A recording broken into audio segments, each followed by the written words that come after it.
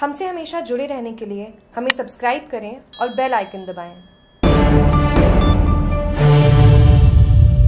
दांतलावास गाँव में प्रशासन गाँव के संग शिविर में आमजन को मिली राहत उपखंड क्षेत्र के दांतलावास ग्राम पंचायत मुख्यालय पर बुधवार को प्रशासन गाँव के संघ शिविर का आयोजन, शिविर प्रभारी एवं उपखंड अधिकारी श्रीमती सुनीता मीना के निर्देशन में किया गया। शिविर में 19 आबादी भूमि के पट्टे, एक म्यूटेशन, एक बंटवारा पाँच प्रकरण 136 के तहत शुद्धि के छह प्रकरण नियम एक के तहत शुद्धि के इक्यानवे प्रकरण में समाज जनक नाम, दो, प्रकरण तरमीम शुद्धि के पैंसठ लोगों की स्वास्थ्य जाँच, दो, वरिष्ठ नागरिक कार्ड, दो दिव्यांग जन के रोडवेज़ सर्टिफिकेट 40 मुद्रा परीक्षण हेतु, नमूने व सैकड़ों जन्म प्रमाण पत्र हेतु शपथ पत्र प्रमाणित कर जारी किए गए व अन्य समस्त विभागों ने प्राप्त प्रार्थना पत्रों व परिषदों का निस्तारण किया।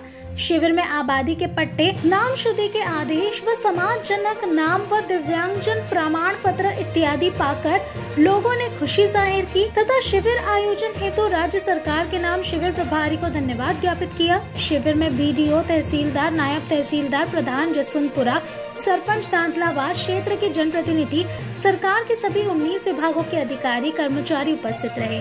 शिविर के दौरान आमजन की भारी भीड़ उमड़ पड़ी। ग्रामीणों के समस्त कार्य मौके पर पूर्ण होने से ग्रामीण जनता के चेहरे पर खुशी छा गई। जागरूक टीवी के जसनपुरा से महेंद्र प्रजापत की रिपोर्ट।